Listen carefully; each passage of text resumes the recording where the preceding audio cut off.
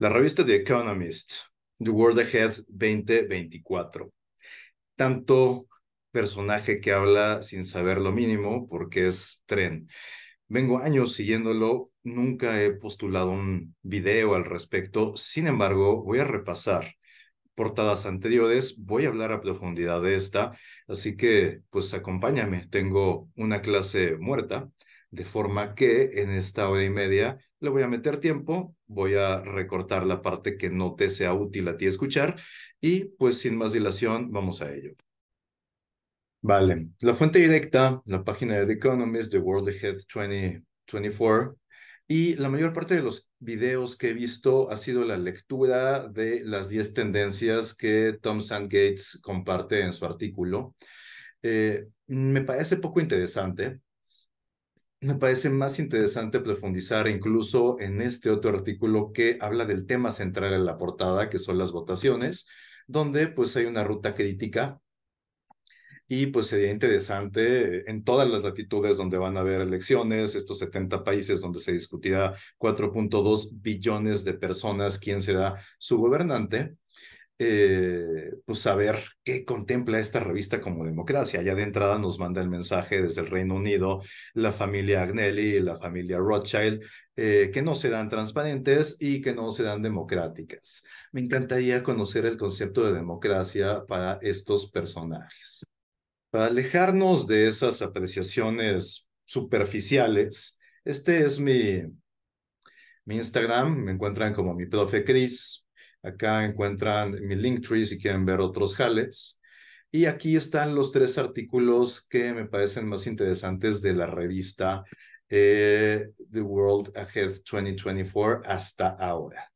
Eh, la pregunta básica y la primicia para muchos fue, ¿quién es la muchacha que está en la esquina superior izquierda de la portada? Pues sin más dilación, solamente tenían que irse a la página 2 eh, de la revista digital. En la segunda página, uno de los artículos que viene es eh, México elegirá a su primera mujer presidente, dando introducción, hablando, eh, pues no sabemos si será Xochitl, no sabemos si será Claudia. La pregunta es, ¿qué tanto se parecerán a su predecesor? Para no dejarlos con la duda de, oye, entonces este, los Rothschild apoyan esto. Pues yo creo que no, más bien este, si apoyaran a alguien de ese lado, yo estimo que sería Xochitl Galvez, porque Xochitl Galvez sí tiene esta afinidad con World Economic Forum, en cambio es de la rama Rockefeller Sheinbaum. Y pues vamos, estudió ahí un programa de becarios, entonces pues no lo veo. En cambio, vamos a la fuente la encuentro ya mismo. Pues pocas cosas más aburridas que la política mexicana, así que voy a hacer un hiper resumen.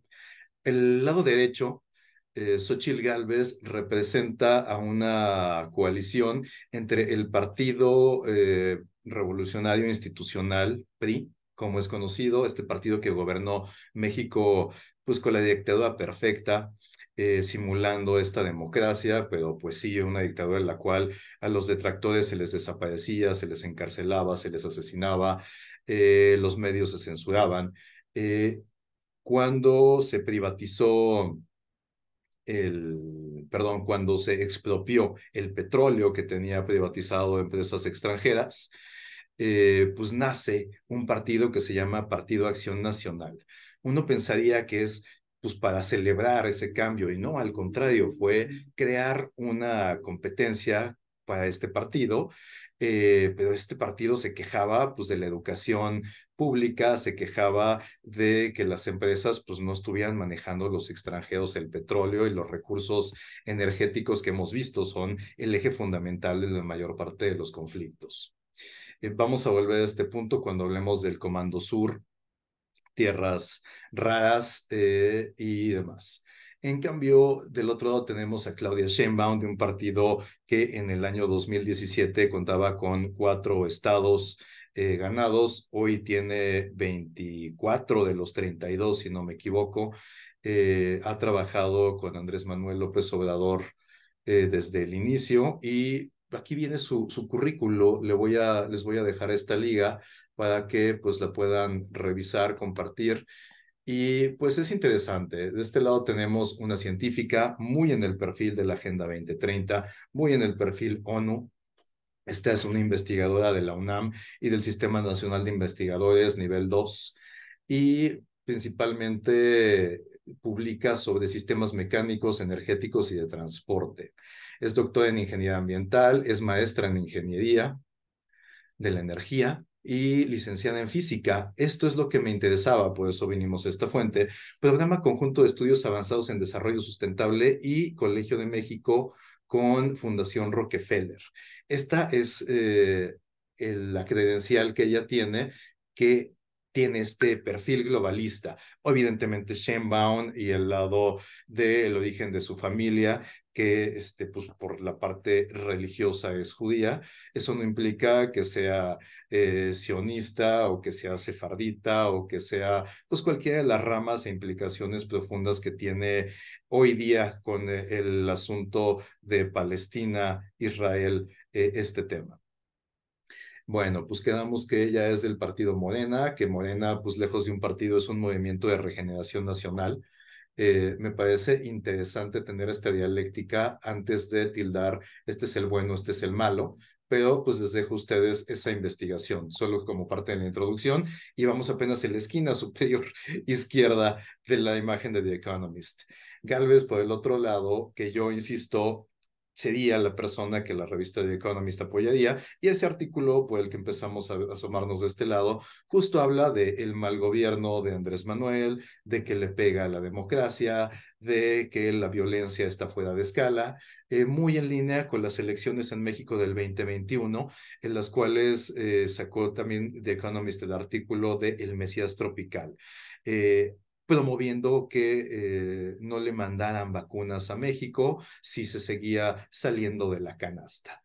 Muy, muy amable el artículo, la verdad es que nadie lo leyó y todo el mundo se quedó con los ataques hacia el presidente.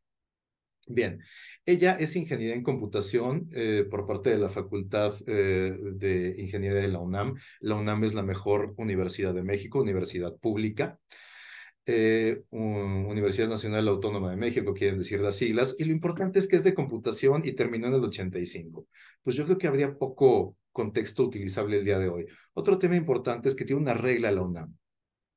Si tardas más del doble del tiempo que eh, ocupaste para titularte, eh, perdón, en estudiarla para titularte, es decir, si acabaste la carrera en cinco años y te toma once titularte, pues ya no eres candidato a titularte.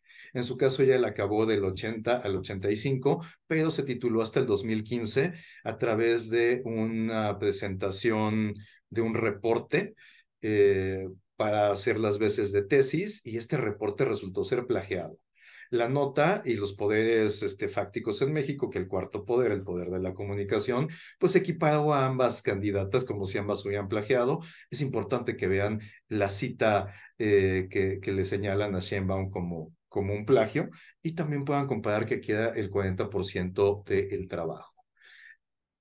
Por eso hablo de la derecha, de esta es una de las prácticas comunes. ¿En qué trabaja ella? Pues dicen que le quitan la chamba, a pesar de ser legisladora, senadora en México, cuando eh, estos contratos que tiene con eh, influencia, tráfico de influencia se llama ese delito en México, se le, lleva proyectos tanto del Estado como eh, de la Federación a sus empresas, mantenimiento en edificios inteligentes y administración high-tech services. Entonces, bueno, pues este, de ahí han salido 14 mil millones de pesos, aproximadamente unos 6 mil millones, este, digo, 600 millones de dólares, perdón.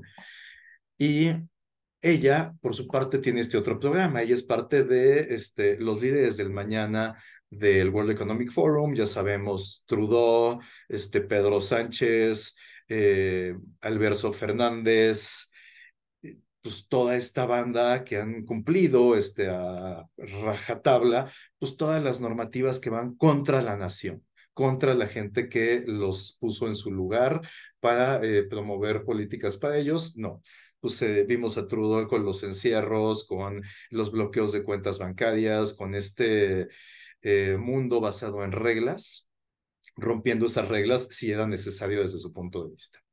Bien, ¿Qué más? Ella es senadora de la República, delegada, fue delegada de la Miguel Hidalgo, que es una alcaldía aquí en México. Es titular de la Comisión Nacional de Pueblos Indígenas. Bueno, fue, fue su primera chamba. Chequen ese hashtag, está muy bueno. Y por el otro lado, fue jefa de gobierno Sheinbaum, fue delegada de la alcaldía Tlalpan y secretaria del Medio Ambiente con Andrés Manuel. Muy importante que sí, sí tuvo buenos resultados en cuanto a la baja de partículas. Está promoviendo Morena un plan C, que es ganar básicamente todo, este legislativo, eh, judicial y evidentemente ejecutivo, los tres poderes. Bueno, eso como introducción del punto más mexicano que tiene esta imagen, que sería la esquina superior izquierda, Claudia Sheinbaum. Entonces, pues aquí les dejo un extracto de, de el artículo de The Economist, donde podrán ver que, pues, lejos de apoyar, está golpeteando. Y pues tampoco podemos nosotros creer que del otro lado, The Economist, pues sí, sí va a estar apoyando a Donald Trump. Al contrario, son los principales detractores de Donald Trump. Y Donald Trump de este lado eh, tiene el signo de interrogación, al contrario que Claudia Sheinbaum. Entonces, pues me parece desde ahí bastante interesante que al mismo nivel voy a hacer el acercamiento y me voy a quedar ya así para no hacerse las cansada. Además me gusta que viene partido en cuartiles. Eh, nos quedemos con esta imagen. Tengo algunas notas al respecto, me imagino que ya todos lo observaron, pero si les parece bien, vamos a echarle un vistazo en forma de Z a esta imagen. Empezamos por el cuadrante superior izquierdo, donde el, tema destacable es Shenbaum. Vemos la carrera espacial, me quito un poquito de acá, y vemos los elementos predominantes aquí. Cuadro rojo, cuadro azul. Republicanos demócratas, Venus Marte, positivo negativo, macho hembra, estas dualidades. Vamos a ver por dónde van los tiros. Les voy dejando esto que, recuerden, lo estoy haciendo en vivo, este, en frío eh, nada, en caliente todo. Siguiente cuadro nos habla de eh, pues esta, esta guerra y la paz, eh, este conteo que ya corrió el 70%, 75% aprox del tiempo, hay poco tiempo por, por caer todavía, y tenemos que abajo de la guerra tenemos esta, esta disyuntiva de Em, llamémosle demócrata republicano, y del lado demócrata tenemos en rojo a el presidente de Ucrania, Zelensky. Volodymyr Zelensky, eh, lo podemos ver aquí abajo en mi Instagram. Lo voy a pausar mientras llego a esa imagen.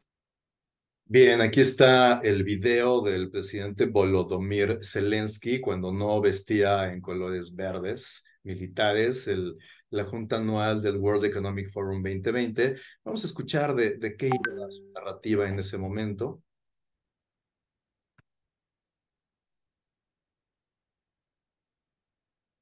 Ok. Propose to all of you to be the stakeholders and shareholders of the success of the new Ukraine today for the pragmatic and ossified world drastically wants miracle and the world economy on the verge of the new global crisis needs economic miracle. Ukraine is the place where miracles come true we do not have sufficient investments. We propose to all of you to be the stakeholders and shareholders of the success of the new Ukraine today. Bien, en resumen, mm, está invitando al mundo al lugar donde pasan los milagros y está hablándole al auditorio o al mundo para que se conviertan en stakeholders. Stakeholders y um, desarrollo sustentable son em, el rebranding del comunismo que promueve el World Economic Forum. Me explico. Eh, en el futuro, las empresas eh, seguirán la normativa ESG, ya lo están haciendo desde hoy de BlackRock. Eh, esta normativa ESG, Environmental, Social, Governmental, tiene que ver con qué también adaptadas están las empresas para eh, pues ser parte de una holding en la parte de este, gobierno corporativo. En la parte social tiene unos ejes que van siguiendo y en la parte ambiental también. Entonces, si tú vas a comprar un ETF de BlackRock, pues BlackRock se asegura de que cumpla con esas normativas este, la empresa, es decir, no le compro, como el caso de JP Morgan, no tiene proveedores que no cumplan con los ESGs. Entonces, yo ya no puedo competir. Se acabó el libre mercado, se sustituye por eh, la sustentabilidad. Y del otro lado, los stakeholders resulta ser que no solamente el tenedor de acciones es un stakeholder, también lo es el interesado, es la comunidad, la comunidad internacional, este, la sociedad civil, que pues en México es un branding que pues las empresas para no pagar impuestos hacen sus asociaciones y pues así le sacan la vuelta a no pagar impuestos. Eh, solamente para que se queden con un dato, las empresas grandes en México, los corporativos transnacionales, pagan menos del 2% de impuestos. Yo pago el 35, el 32, el 28, depende de cómo esté mi situación.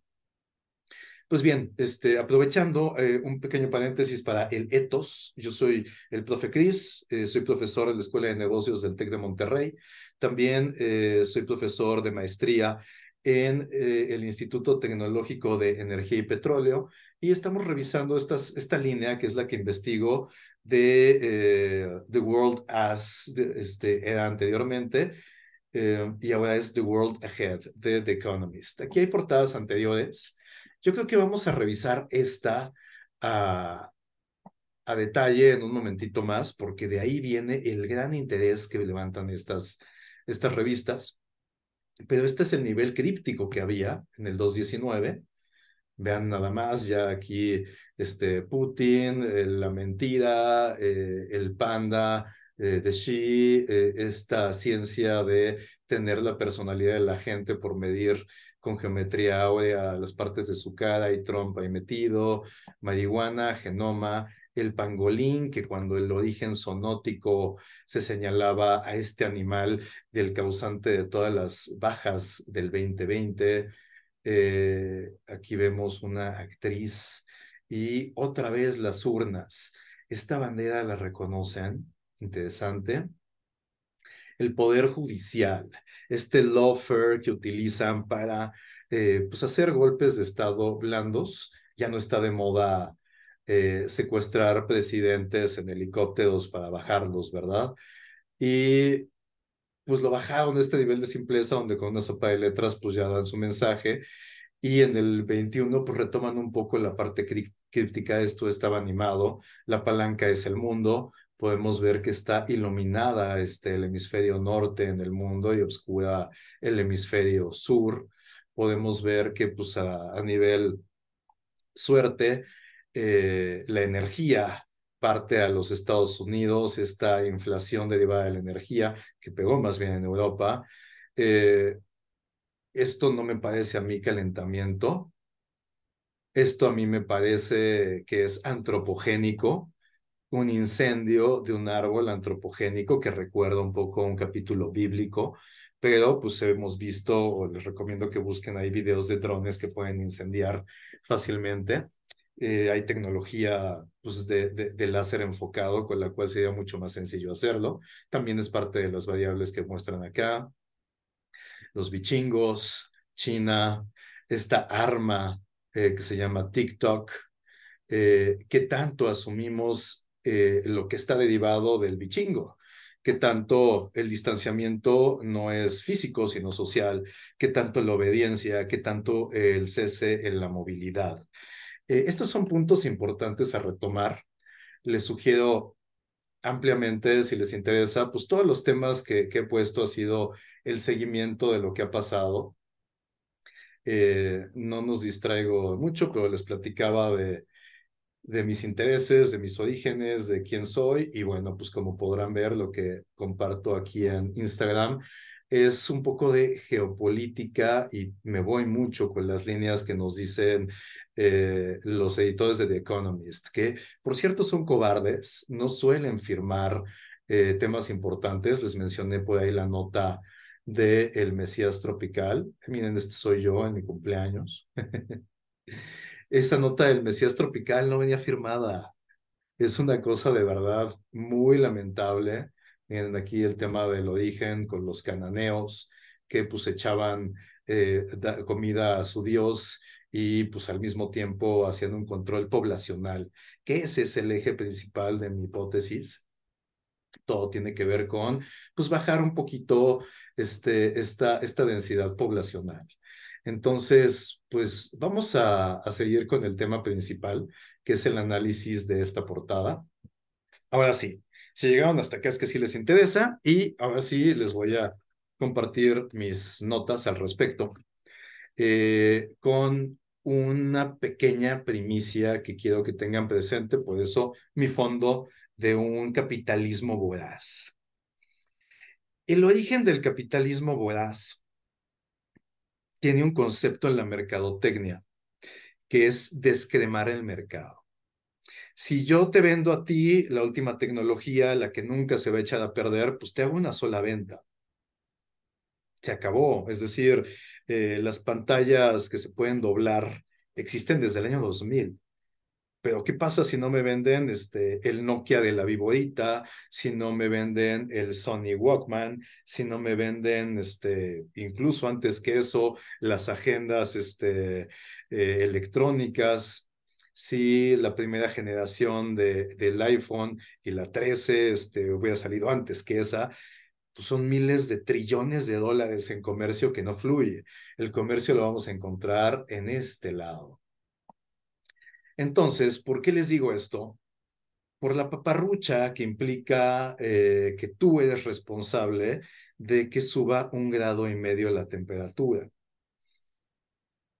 Todo el mundo está regulado, este, tenemos compromisos de Montreal, de París. México, por ejemplo, está en cumplimiento, este, emisiones de CO2 en el 1.2%, pero China no. Y China dice, yo no voy a llegar a mi pico de eh, emisiones hasta el 2050 y vemos. ¿Y por qué China no? Porque son malos. No. El corporativismo, este capitalismo voraz, produce en China. Mi computadora, la tuya, tu ropa, la mía, mis coches, los tuyos, vienen de China. Este portafolio de inversión que BlackRock es dueño del 15-20% de las 15 mil mayores empresas del mundo y tiene poder de voto para implementar las ESGs allá adentro, todas producen ahí. Por eso es importante este paréntesis para que entiendas que todo lo que nos vendan alrededor es paparrucha, es faramaya, es eh, distractor. Entonces, estábamos en esta Z, ¿no? Y vamos a verlo en forma de Z.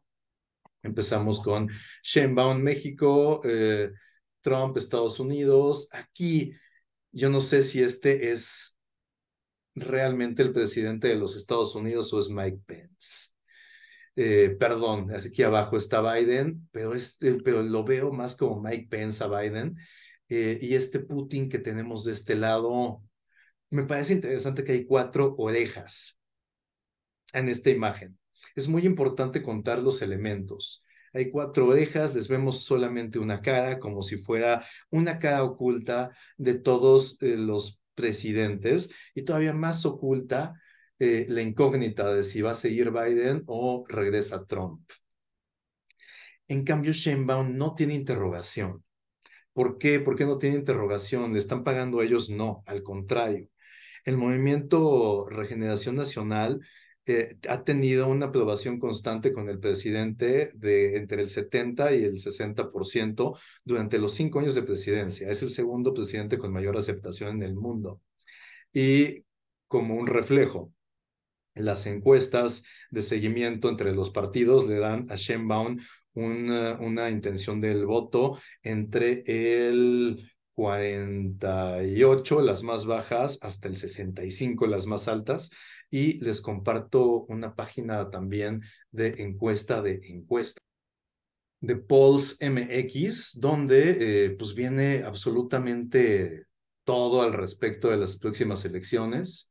Exageré un poco con la mínima probabilidad, bueno, intención de voto de la candidata, pero pues podrán ver este, las crestas de 62, 65%, y los puntos bajos como este que está acá en el 51%. El partido que representa Xochitl Galvez es la línea rosa que está abajo, que en promedio es un 31%. Más de 20 puntos yo creo que es la muerte política, entonces pues sí es perderle un poco el tiempo y por eso la extrema seguridad de la revista en poner a Sheinbaum de este lado. Bien, entonces, en el resumen que les dije, estamos en el vistazo superficial apenas. Y seguimos con guerra, paz, México, Estados Unidos, industria armamentística que tiene todo que ver con eh, el financiamiento de las guerras. Las guerras no son este, Israel y Rusia. Hay otras, me parece que vamos a revisar el dato, pero me parece que son 8 o 10 guerras activas. Ahorita lo revisamos. Pero pues la industria armamentística la vamos a tocar a profundidad más adelante para ver cómo se hace el lobismo y qué es lo que eh, sus, sus influencias ahí. En esta vista de Z, la que sigue en el eje central de tiempo, elecciones y recursos globales, eh, es la urna, la misma urna que vimos en otras portadas anteriores. Eh, me parece interesante la forma que tiene esto. No me quiero distraer, vámonos con la forma de Z. Esto tiene que ver con las elecciones que les comentaba, más de 70 países, es decir, eh, la mitad del mundo va a seleccionar a sus eh, gobernantes, pero la revista nos dice, ni crean que son transparentes, ni crean en la democracia. Eso lo dicen con conocimiento de causa. Acá abajo, el elemento que más dudas me causa, esa sierra circular que se ve ahí, eh, la energía eólica, la transición energética, eh, abajo la parte más importante, la base de este dibujito, que son los minerales, el níquel, el tantáneo, el coltán, eh, estos elementos que se necesitan para producir chips, pero en el siguiente cuadro, en negro, vemos este que no parece un mineral. Podemos ver estos minerales, tienen estas formas geométricas como piedras. Esto yo no sé qué es y es una de mis grandes incógnitas. Esto yo no sé qué es.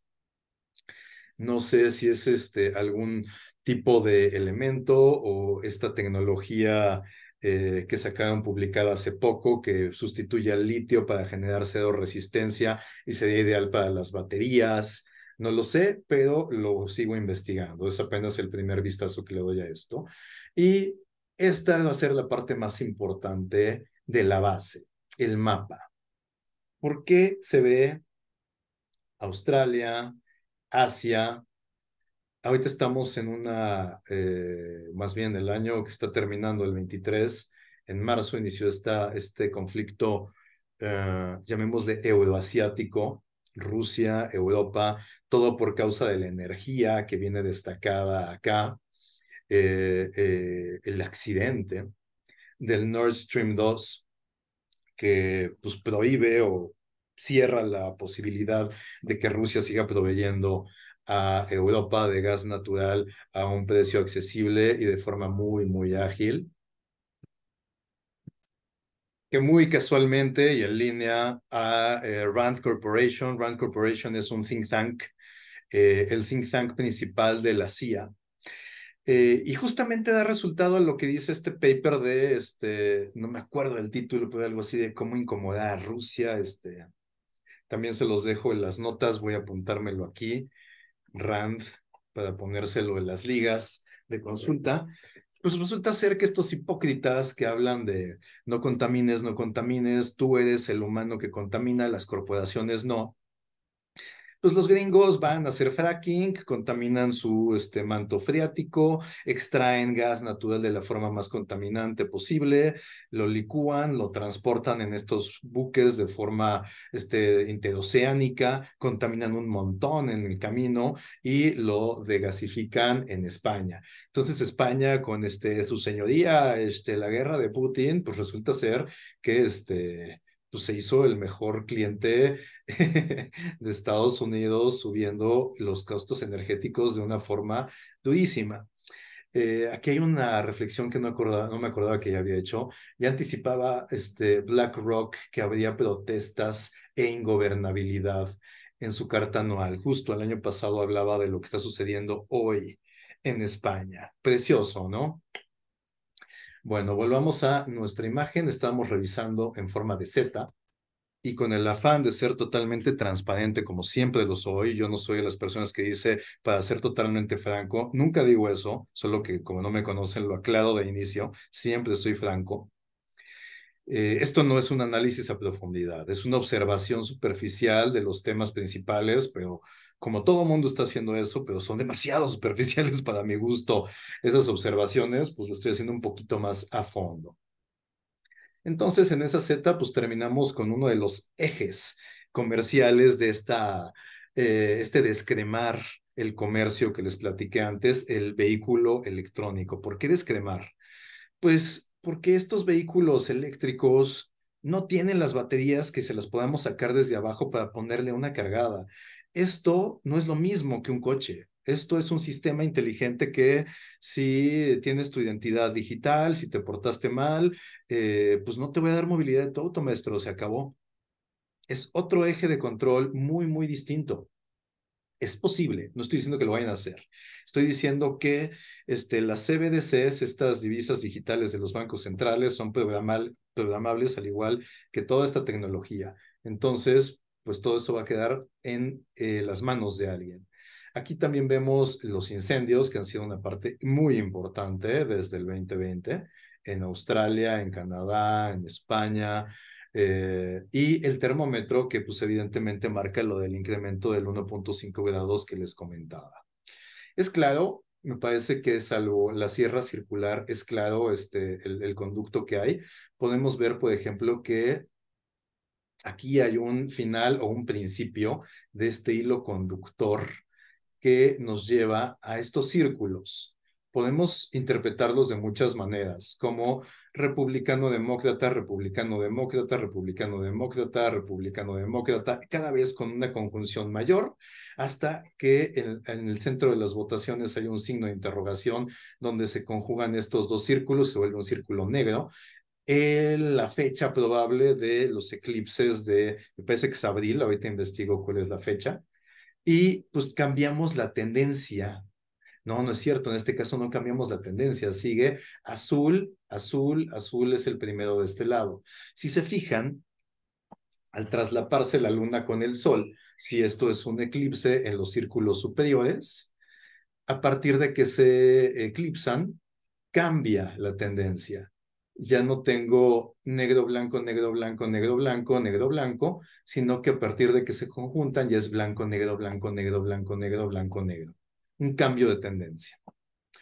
Ahora, eh, ya lo vimos en Z, ya hablamos del eje más importante, me he brincado este, que va a ser por donde voy a empezar a hacer un análisis más profundo, pero no voy a dejar de hablar de las herramientas.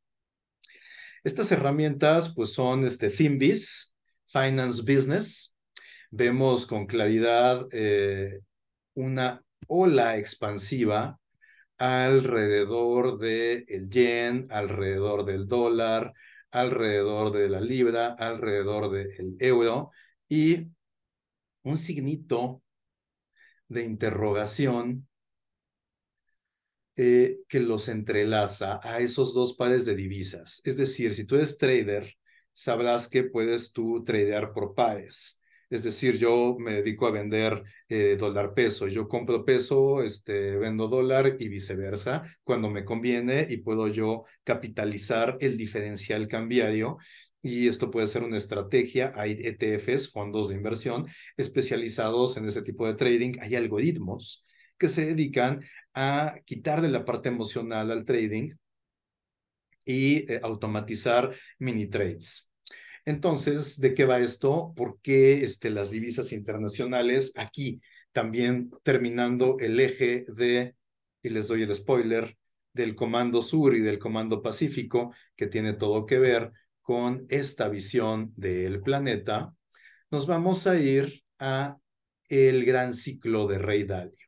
Rey Dalio plantea una teoría del gran ciclo, que se los voy a comentar acá, pero la unión íntima entre el comercio internacional. Lo vivimos con el cierre del canal de Suez, que, ups, como que iba medio ebrio el chofer y como si tú en el paso a desnivel estorbas los tres carriles de periférico, que es aquí un eje principal en la Ciudad de México, pues lo mismo le pasó a este güey y no pudo nadie arreglar eso en semanas. También, desde mi punto de vista, ya que vivimos en la era del Big Data, pues toda esta información nos brinda data sumamente valiosa para saber niveles de aceptación, eh, obediencia, impacto en el comercio, ruptura de las cadenas este, logísticas, ruptura de las cadenas de valor, eh, falta de visibilidad en los diferentes tiers de producción. Es el tipo de información que hay. Por eso cuando nos dicen, pues no hay dudas de que llega Claudia Sheinbaum, es porque tiene toda la data, este sistemita. De que hay dudas de que llegue Trump, pues es que ya se le hicieron hace cuatro años. Eh, este tema de las elecciones remotas, porque pues no podía salir la gente a votar porque había una amenaza en el aire. Eh, las votaciones digitales de Estados Unidos, donde su proveedor estaba en Cataluña. Mismo caso sucedió en México cuando este, haya sido como haya sido, a quien le suene esa frase de el expresidente Felipe Calderón, cuando se señaló que él había ganado esas elecciones con un fraude electoral, porque se cayó el sistema, el sistema que manejaba su cuñado Hildebrando, hermano de Margarita Zavala, eh, diputada en este momento. El señor está huido en España después de haber dejado la guerra de las drogas este, importada a México desde los Estados Unidos desde el año 2000. Eh, paréntesis varios, espero que no los aburra con, con ir y venir, pero pues estoy abundando en los datos que vienen acá. Bien, ya mencioné de rebote el eje pues, más transparente del que yo pensé que giraría todo, que es el eje del machine learning, de la inteligencia artificial, eh, de... Ay, no sé ni siquiera cómo decirlo. Vamos a ver la imagen. Vemos aquí cable azul, cable azul, cable rojo, cable rojo, mente a máquina. ¿Cuál es el flujo de esa información? Es machine learning y es una inteligencia artificial fuerte y libre que se está nutriendo de la data que los autos de conducción autónoma le están proporcionando, de todas las cámaras del C4 y los sistemas remotos le están proporcionando, o a través de TikTok y de las redes sociales y de los medios masivos de la comunicación, esta inteligencia artificial está llevando la información hacia los cerebros o fluye en ambos sentidos. Pregunta muy importante. Bien, Voy a adelantarme con un tema bastante clavado que hice al respecto. Voy a poner la imagen este, un poco más grande, pero que no se me distorsione como haciendo el zoom aquí. Me voy directo a el ex de The Economist. Podemos ver dando mucho énfasis en el tema de las votaciones, que esta portada alternativa que tiene The World Ahead 2024 este, our 90-page guide to the coming year. Pues aquí todo, al parecer, depende de esta elección. Pero pues lo que yo quiero ver es esta portada de la que estábamos hablando. Y el ejercicio que hice con esta portada fue contar, contar las formas geométricas que me fui encontrando estas formas geométricas que me fui encontrando, carajo, ¿dónde está? Perdón este, por improvisar y no ponerle pausa esta vez al scroll de el eh, ex de The Economist. Esa ya hasta se repitió, ¿no? ¿En qué fecha estoy? Sí, hace 12 horas. Bueno, ¿cómo publican? ¿Qué diferencia uno que chambea y se tiene que dar unos tiempitos para hacer esto? versus alguien que tiene presupuesto ilimitado para hacerlo. No puede ser, de verdad. Bueno, lo que hice fue este conteo de formas. Este conteo de formas eh, consideré el republicano demócrata, cuadritos azules, cuadritos rojos, como eh, pues lo que pueden estar las votaciones para Donald Trump este año. Con eh, la novedad que hay en la imagen, 10 cuadritos rojos y 10 cuadritos azules. Pues sin sorpresas ahí, ¿no? La idea este, principal es hacer eh, la ilusión de que esto está reñido, de que esto no está arreglado. Y pues más allá de contar los cuadritos y los circulitos y los colorcitos, pues también tenemos un montón de flujos, es decir, negro, muy claro, escala de grises, y aquí vemos un incremento, como si fuera un conteo, o algo que va aumentándose. Pero si yo cuento estos cuadritos adentro de los cuadros, y este cuadrititito también lo tomo en cuenta, si yo considero imágenes, perdón, es mi perrita que ya está en sus últimas, vamos a, darle chance a que todo sea la Yuri. Eh, estos cuadritos que les decía, más allá de, de tomar solamente la forma externa, si tomamos también esta cuadrícula, si tomamos estos containers eh, de perfil y de frente, si algunas de las boletas que sí me forman un cuadro, si eh, en los rectángulos como los containers y como los billetes que veo acá, los incluyo en el conteo, pues podemos ir sumando cuántas, este, de qué color y de qué cosa hay. En total, veo 190 cuadros y rectángulos en sumatoria. Los círculos, veo 33 círculos. Si tomo también como círculo el círculo exterior del ojo que todo lo ve y la pupila. Como verán, ese número tan, tan, tan este, masónico, tan emblemático de la élite, pues no, no podía, no podía quedarse fuera.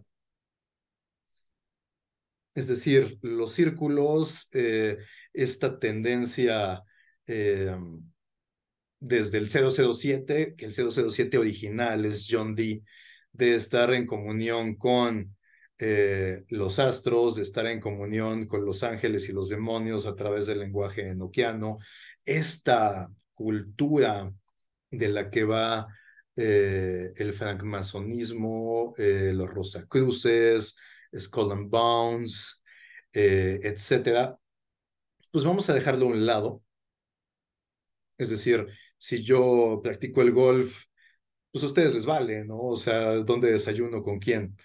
Eh, es importante saber que son parte de un grupo que tienen un plan muy trazado, que este plan tiene, pues desde Elizabeth I con el buen John Dee a través de, de los libros que están pues bastante vetados, pero eh, este Commonwealth, que se confunde con Commonwealth, es decir, no estoy hablando del bien común, sino del patrimonio común del Reino Unido, de este expansionismo eh, del Reino Unido hacia Estados Unidos, hacia Israel y el mundo en general, pues es lo que ahora hay que revisar. Pues vamos a la parte inferior, a la base de la pirámide, donde vemos los elementos de tierras raras y los lugares en el mundo donde abundan más estas tierras raras, como el litio. Eh, Vamos a dar un paréntesis muy importante. Les recomiendo esta página que se llama El Orden Mundial. Esta página del Orden Mundial tiene este mapa que es una belleza. También me lo voy a apuntar para eh, agregarles esta, esta liga igualmente en los recursos que van a encontrar abajo. Los comandos militares de los Estados Unidos. Es decir, les hablé ya de Felipe Calderón, eh, sirven esos ejemplos mexicanos para que la gente que no sea de México se contextualice un poco. Cuando Felipe Calderón aceptó la guerra contra las drogas desde Ronald Reagan, que viene jalando ese tema, como vamos a verlo, no digo que sea específicamente para eso, pero en esta hipótesis vamos a tomar como un filtro, como un filtro a través del cual todas las ideas las vamos a pasar, eh, el control poblacional. Eh, el control poblacional del informe Kissinger, por ejemplo, donde es mucho más explícito, que también les voy a dejar el audio del informe completo, donde pues hablan de tener operaciones en México, en muchos lugares de Latinoamérica, en muchos lugares de Asia, donde es este, el crecimiento poblacional más acentuado, pues llegar a que la norma sea dos hijos o menos, que este, abajo de 2.2%, si no me equivoco, ya no tenemos tasa de recambio poblacional y esto vale madres. Bien, hablaba de Felipe Calderón, la guerra contra el narco y el Comando Sur. El Comando Sur, cuando la guerra Irán-Contras, Irán-Contras tiene que ver con no mencionar Estados Unidos, Estados Unidos-Irán, básicamente. Había un conflicto parecido al que hay ahora y la CIA como lo podrán ver en la película eh, American Made y los documentos del periodista que se apellida Webb con doble B grande al final. Eh, de Estados Unidos llevaban eh, armas para acabar con la población este, de la que se estaba encargando el comando de los contras en Sudamérica y se regresaban drogas para pues también que la población en Estados Unidos fuera controlada como ahora lo es con el fentanilo y estas poblaciones zombies que vemos en Canadá, en todos los downtowns preciosos de las ciudades de Estados Unidos, que esto está abundando. ¿A qué voy con el tema de Felipe Calderón en la guerra contra el narco? A que no tenemos soberanía en México. Esta raya que vemos aquí es la frontera de México el Comando Sur, el, Comando Norte opera en México como si fuera su propia tierra. El Comando Sur opera en Sudamérica como si fuera su propia tierra. Aquí está la flota 4, aquí está la flota 3 en, en, este, en Hawái. Aquí tenemos la flota 6 en África y está el Comando África Aquí tenemos el comando europeo, el comando central, la flota 5 y la flota 7 en la zona más crítica donde encontramos Taiwán y el comando pacífico es quien manda ahí. Hay otras unidades que es esta creada por Donald Trump, lo vimos ahí la foto de Donald Trump justo al ladito de una nave espacial que claramente señaliza eh, una nueva carrera espacial. Esta nueva carrera espacial eh, también es un tema que hay que tocar, pero no me desvío del que ya tocamos, el comando espacial, eh, el cibercomando, que uno de los polirriesgos que señala el World Economic Forum tiene que ver con el hacking. Este polirriesgo que, que le apuesta el World Economic Forum es el riesgo social, el riesgo alimentario, el riesgo sanitario, el riesgo cibernético. Todo se conjuga para que no haya gobernanza. Eh, comando de operaciones especiales, es decir, pues todo lo que tengo que operar a través de mis eh, sociedades civiles, a través de esas empresas que como en China tienen su Bay Dance, eh, su, su este, One Cent, pues no crean que en Estados Unidos no, tienen lo mismo, eh, aunque las empresas sean públicas o privadas. y el comando de transporte. Esta es una visión global muy diferente a la visión global que tenemos de un mundo libre, de un mundo democrático. Y ese punto de vista es occidental, pero el resto del mundo, el mundo libre lo ve así. El locus, esta unión de inteligencia que hay entre Inglaterra, Estados Unidos, Japón y Australia, eh, está muy reñido saber si España o Japón eh, son eh, la estrellita 52 de Estados Unidos, pero esto es a lo que desde Rusia se refieren como los mil millones de oro. Somos más de 8 mil millones de personas en el mundo y aquí viven los mil millones de oro, para los cuales el capitalismo voraz es funcional. Estas ya las encuentran en mi Instagram. Voy a meter la que estábamos revisando, que por algún motivo no le he metido. Este es el mundo visto desde el Polo Norte. Como verán, son vecinos Rusia y Alaska, que es parte de los Estados Unidos. Eh, estos son los países que han ido eh, conformando la OTAN y estos son los países o los territorios que marcan una línea roja, que bueno, pues es parte de lo que hemos ido viviendo eh, desde 1968. Pero es muy importante tener esta, ¿cómo llamarla? Esta dialéctica de no quedarnos solamente con la narrativa de uno de los lados que me lo cuenten. Eh, ay, aquí este, hice un comentario interesante en ese momento. En la imagen que estábamos analizando de la portada World Ahead 2024, les comenté el número 33, círculos. Eh, el logo de la ONU también tiene 33 espacios en este mapa como de coordenadas, si tomamos en consideración eh, el centro también. ¿Y no les parece a ustedes curioso que la misma imagen que les mostré de eh, la Tierra vista desde el Polo Norte, desde la Antártida, sea la misma que tiene la bandera de la ONU? ¿Qué hay ahí en la Antártida? Es interesante la pregunta. Y bueno, 1, 2, 3, 4 por 1, 2, 3, 4. Y los concéntricos de acá y el centro. Me parece interesante el ejercicio que hablábamos de la numerología este, cruzado acá. Bueno, ¿por qué es importante todo esto? Vamos a que lo diga en sus propias palabras. Laura Atkins está a cargo del comando que vimos en el Comando Sur. In resources. It's off the charts rich. And they have a lot uh, to be proud of.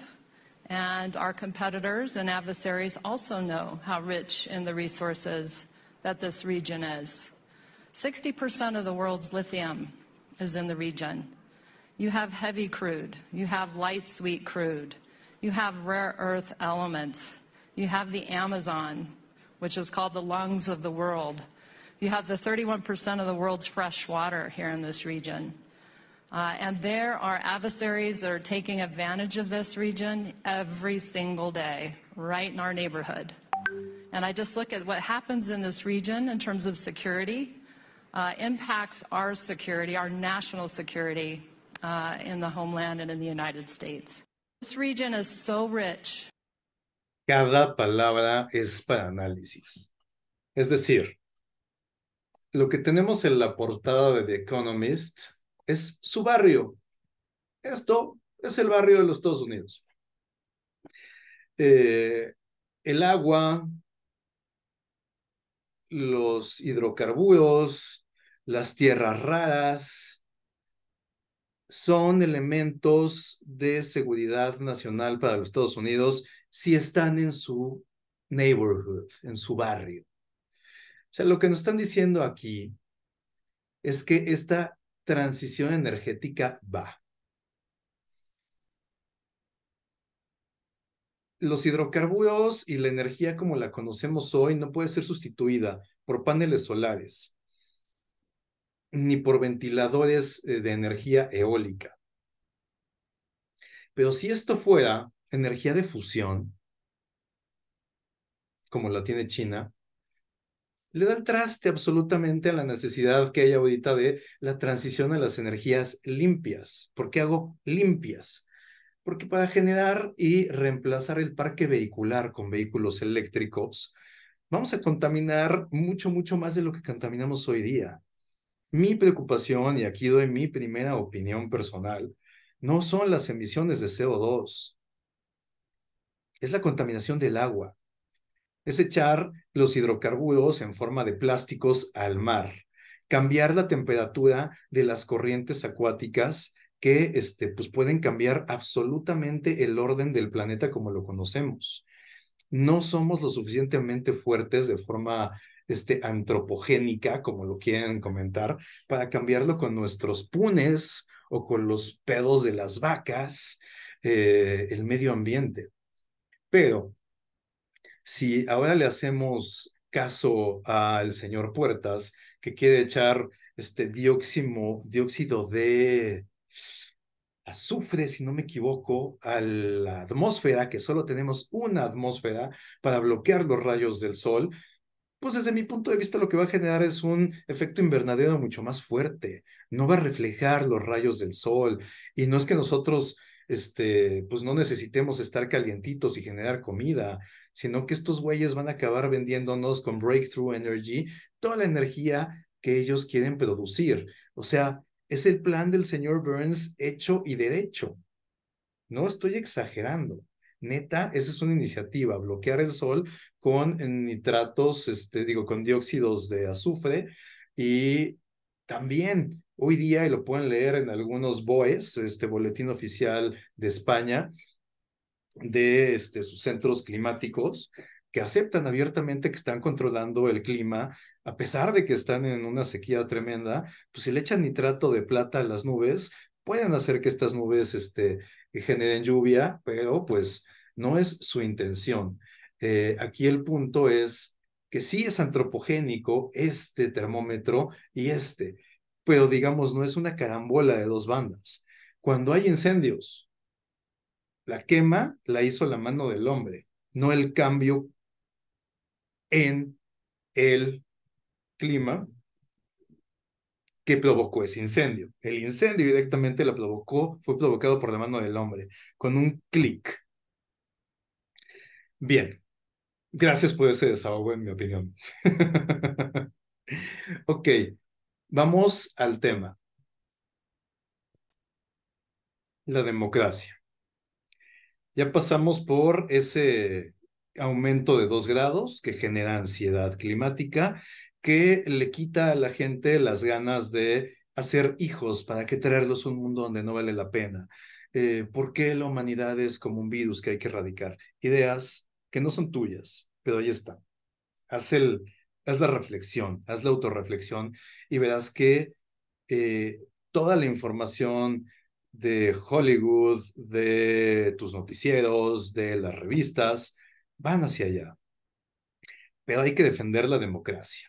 Este es un ejemplo de una votación en la ONU donde tienen derecho de veto los Estados Unidos, Rusia, eh, Inglaterra, Francia y China.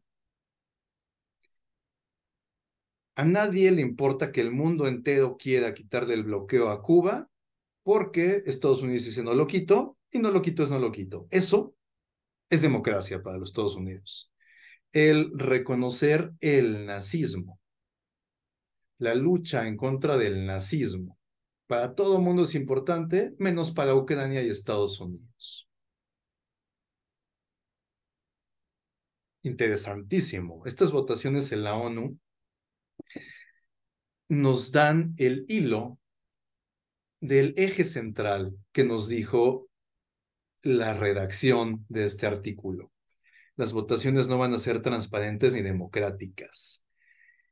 Queridos amigos en España, eh, toda este, Iberoamérica unida con ustedes. Los he observado muy atentamente cómo les han cambiado el andamiaje legal, cómo les quieren meter el pasaporte COVID, esta identidad digital, cómo les coartaron la movilidad, cómo los niños llegaban a decir, mamá, quiero ser perro para poder salir a pasear. Cómo a sus ancianos los obligaron y pues terminó ese exceso de mortalidad en lo que seguimos viendo el día de hoy. Entonces, ese andamiaje legal, la vieja confiable para lo que nos decía The Economist. 70 países tendrán elecciones. ¿Voy a corromper a 4.2 billones de personas para que voten en el sentido que yo quiero? ¿O voy a corromper a los partidos políticos para infiltrar a un young global leader que haga lo que yo quiero que haga? Este video es súper, súper, súper recomendado. Antes de ver dos fragmentos de acá, How the uh, World Economy Forum Controls the World, Klaus Schwab and the Great Reset. Se llama el video, lo publica un noticiero independiente que se llama American Covered. Este Chris Chappell, si lo ves algún día, te mando un saludo. Gran, gran fan. Um, a la gente que se le hace obvio que hay una teoría de conspiración, mal a la gente que desestima que una conspiración puede ser real, mal. A la gente que insulta a las personas que analizan las conspiraciones reales, haciendo el híbrido entre paranoia y, conspiración, y haciendo alusión y insultando a la gente que tiene un padecimiento mental, mal también. Dialéctica, por favor, señores, pensamiento crítico. Vamos a ver la baraja que hay en el tablero. Conspiración es un grupo de personas que toman decisiones y generalmente afectan de forma negativa a un Estado, dice la definición. Yo diría a una nación. La nación es eh, la gente, la sociedad, la cultura que vive en ese Estado. Es decir, si en México Constellations Brand dice que va a poner una planta de cerveza en, Culiacán, donde este, va a poner una pipeline de gas y va a tomar todo el agua de la región, pues eso es una conspiración, va a joder a la gente de esa zona. Si yo quito esa inversión extranjera porque no es una inversión que me funcione como país, pues estoy saboteando la inversión extranjera o estoy cuidando los intereses de mi pueblo. Interesante, ¿no? Vamos a darle al inicio.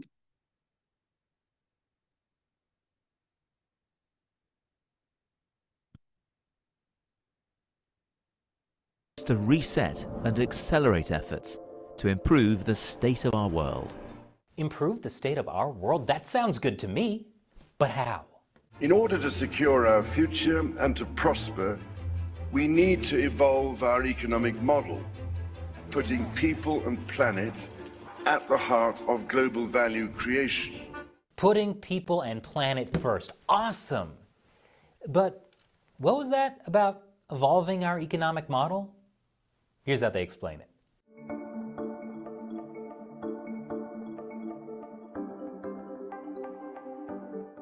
You'll own nothing and be happy. So who would own everything in this scenario? Oh, so it'll be owned by Amazon. Got it. Does this mean we're just going to rent everything from Amazon instead of buying everything from Amazon? But the World Economic Forum is so much more than just the Davos Summit or the Great Reset. Pequeño momento para traducción del concepto. Eh, Klaus Schwab es el director general del World Economic Forum. Esta es una eh, sociedad civil el señor es un doctor eh, que hace eventos y tiene membresías y es un dineral estar en su club. Y tiene una página de información increíblemente bien hecha, este, sumamente recomendables los, las publicaciones de World Economic Forum, sobre todo para desestimar algunas, como por ejemplo su iniciativa C40, donde implica que las ciudades de más población en el mundo llegarán a un consumo cero de carne, por ejemplo. Ya me imagino países como España, donde su Producto Interno Bruto es más del 10% por cárnicos. ¿Qué va a pasar cuando sea 0% de producción de esos? Em, bien, ¿de qué va esto? De una iniciativa, una narrativa, una línea política, una ideología del World Economic Forum que se llama The Great Reset. Eh, básicamente es resetear un modelo económico, dicen que el capitalismo ya no sirve, lo mismo que dice el Vaticano, hay uno igual, pero del Vaticano. Entonces vamos a humanizar un poquito el, capitalismo a través de pues, stakeholders, ¿no? Es lo que nos decía este Zelensky en el video que les presenté al principio. Eh, ¿De qué va esto? De eh, no tendrás nada y serás feliz. Esto, Aida Auken escribió un ensayo al respecto que también búsquelo, se los pongo también en las fuentes. Ida Auken. Y habla de un mundo que no tiene privacidad, es decir, un mundo en el que ya tradearon, ya cambiaron su privacidad por seguridad. Eh, creo que era Mark Twain quien decía que quien hace eso es un idiota y no merece ninguna de las dos. Pero lo que les quería mostrar específicamente de este video, esto me sirve mucho como introducción, es, eh, ah, pues sí, venía en total orden. Pues padrísimo, lo voy a dejar. Porque esto va de el loafer. Yo no solamente voy con la vieja confiable, te voy a infiltrar a un funcionario para que haga lo que yo quiera que hagas, sino que voy a infiltrar también gente en tu poder judicial para cambiar ese andamiaje, para que en España revienten los vertederos, haya sequía, para que en México, y esto no es exageración, esto es real, se concesione en minería el 60% del territorio nacional. Es decir, el 60% de México no es de los mexicanos, es de este Gold Corp, en Canadá y de un montón de empresas que extraen lo que quieren del subsuelo y saben cuánto pagan por hectárea. Ocho pesos. No son ni 50 centavos de dólar. Ese nivel el saqueo. ¿Para qué traerían tropas armadas a México y conquistarnos si ya estamos conquistados? ¿Cómo pasa esto? ¿Cómo pasan estas cosas? Eh, esto es lo que quería que viéramos. Exactamente esto súper atentos porque aquí alardea Klaus Schwab de estos Young Global Leaders, de los cuales forma parte Xochitl Galvez del Frente Amplio por México, que esa es la marca que ponen porque les da vergüenza decir que es la candidata del PRI, que es la candidata del PAN, que es la candidata del PRD. Es la candidata del Partido Revolucionario Institucional, señores. Perdón por el paréntesis político y vamos a ver a qué me refiero con esto. It's an educational organization that has some very notable alumni. I'll tell you who after the break. Escuchen a sus alumnos. Welcome back. So one of the World Economic Forum's biggest goals is the Great Reset, a world where we own nothing and are happy. But the World Economic Forum is just an NGO. How can it guide individual countries to make these radical changes? One of the ways is through the Forum of Young Global Leaders, a sort of internship program to prepare the leaders of tomorrow. It was founded by Klaus Schwab in 2004. According to their website, its goal is to mold young leaders into people who will shape a more inclusive and sustainable future. Each year, a cohort of up and coming leaders between 28 and 38 years old are selected to spend five years in the program. The program has a large number of noteworthy alumni, including Governor of California Gavin Newsom, Meta CEO Mark Zuckerberg, former U.S. Congresswoman Tulsi Gabbard, U.S. Transportation Secretary Pete Buttigieg, and author and anti racism activist Ibram X. Kendi. You've probably heard of them. Nada tan relevante. And the prominent role these alumni play across society illustrates exactly what makes the World Economic Forum so influential. The Forum for Young Global Leaders was a spin off of an earlier organization called the Global Leaders for Tomorrow that Klaus Schwab started in 1993. And it also had some noteworthy alumni, such as Tony Blair, Bill Gates, Bill and Gates. Jeff Bezos. Bezos. With so many high profile alumni, the World Economic Forum seems to have potentially left its mark on every aspect of modern life, from politics to technology. So, what exactly is the World Economic Forum teaching these people? We have no idea. No one seems to know exactly what kinds of things are presented to or discussed by the young global leaders. But one alumnus saw it as a place that did not exactly welcome dissenting voices. Rich Vamos a brincar este cacho que no es este tan esclarecedor, pero este es lo máximo.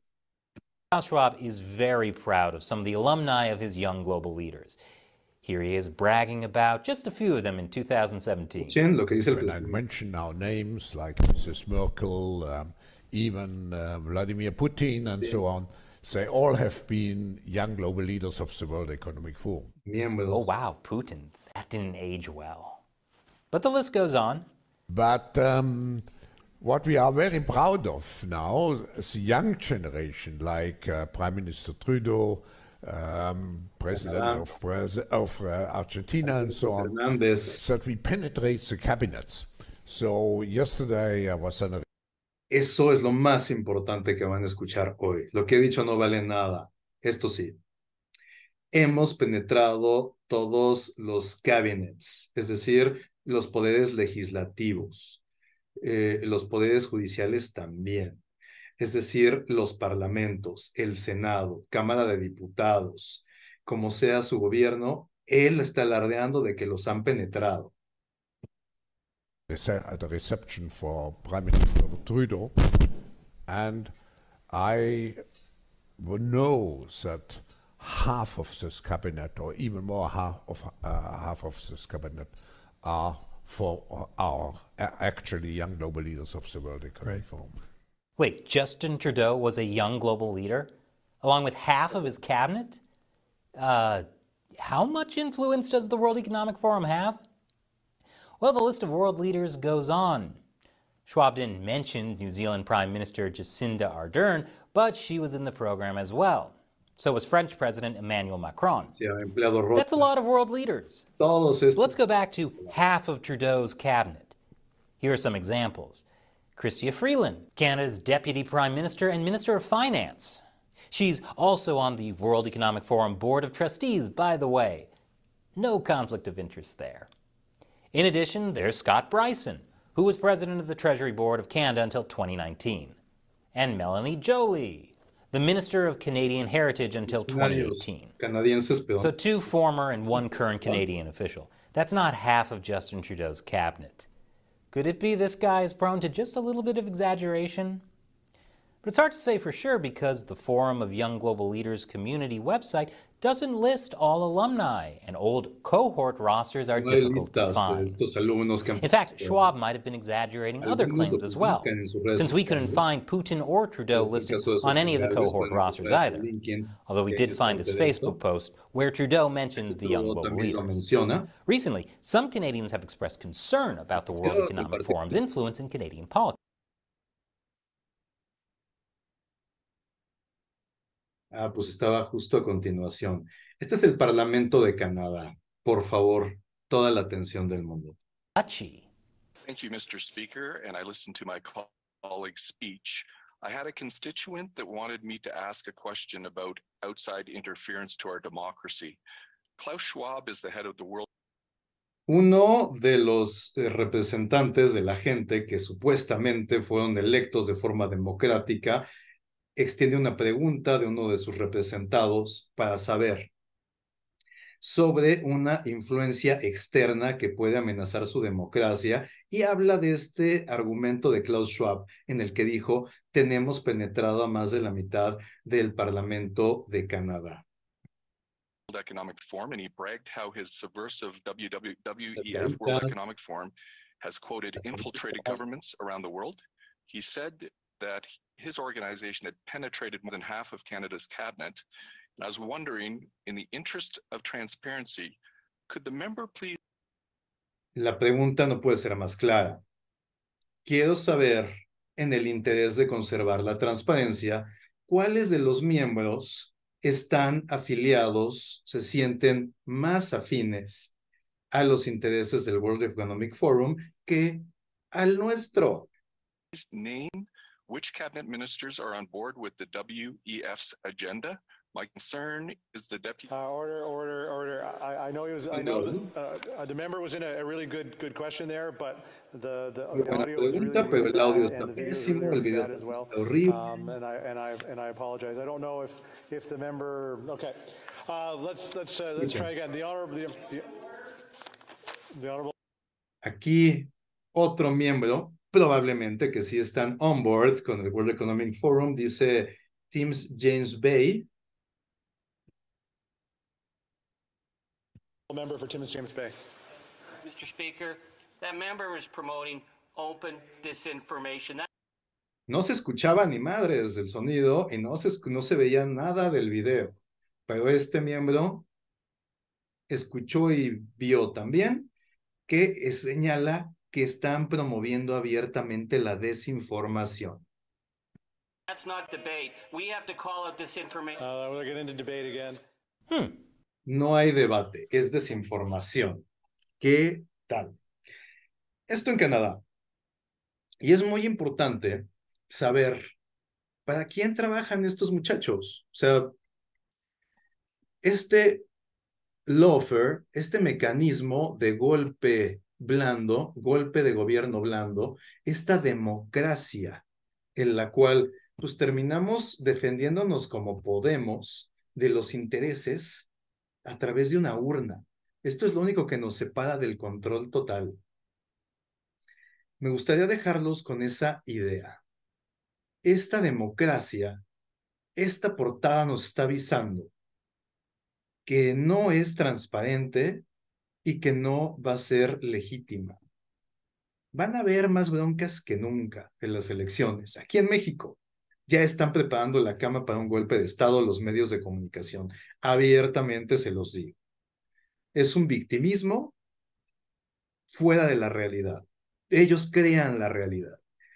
Si tú haces búsquedas sencillas de lo que los medios en México dicen en contra del gobierno, podrás encontrar las medias verdades de las que parten y las extrapolaciones tremendas en las que terminan. Hay mucho más que analizar. Este es un primer acercamiento. Sin embargo, yo lo dejo hasta aquí. Primero porque ya me cansé y ya es hora de irme a clase.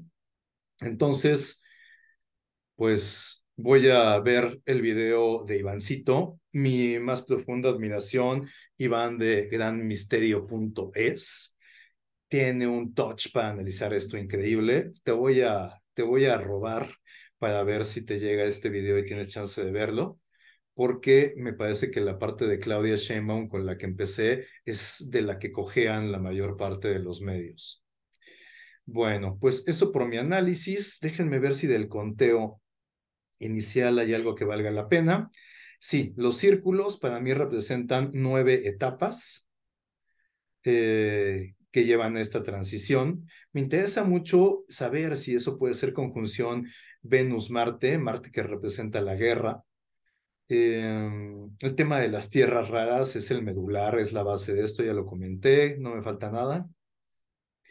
Eh, las votaciones. Quedamos, quedan 10 rojos, 10 azules, pero hay un montón de escalas de grises en la política y en la vida. Entonces, esas escalas de grises, ¿dónde apunté eso? Aquí. Eh, hay nueve que tienden más hacia eh, lo más gris y cinco que tienden más hacia lo menos gris. Es decir, en esos cuadritos que vemos, que marcan como una escala, esto sería gris claro, gris oscuro, esto obviamente es negro. Eh, también hay conteo de ellos, ya les dije, este, conté los cuadritos este, rojos, azules, los negros, los rectángulos, todos. Básicamente, creo que va esto de los swing states. Y si está esto con signo de interrogación de este lado, es porque ven que no van a poder evitar el regreso de Donald Trump. Los swing states están totalmente aquí con la sartén del mango del futuro del mundo desde la visión de estos muchachos. Ojalá, ojalá que pueda revertir todo este belicismo que está siendo promovido hoy día. Ojalá. Francamente, no soy fan de ninguna persona, pero sí de sus políticas, sí de sus acciones y sí de las cosas que nos benefician. Si Trump puede traer la paz al mundo, que venga. Si Claudia Sheinbaum puede regresar algo de la soberanía a México, que venga.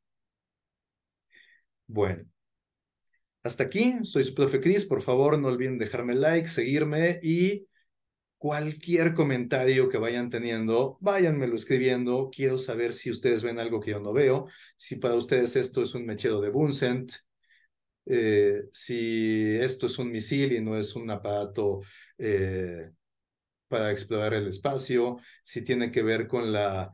Eh, misión eh, que continuó el Apolo, eh, todo estos ideas locas que pueden haber alrededor que a mí no se me ocurren. No hay ninguna idea loca, no hay ninguna pregunta tonta. Toda la información es bienvenida para poder acercarnos un poquito más a la realidad. Sean dialécticos, no juzguen a la gente porque piensa diferente que ustedes, al contrario, escúchenlos con más atención que a nadie. Eso es lo que enriquece a la dialéctica. Con eso cierro, mis queridos alumnos y los que no son alumnos, bienvenidos también. Con todo cariño, este fue su profe Cris y nos vemos en una próxima emisión. Saludos.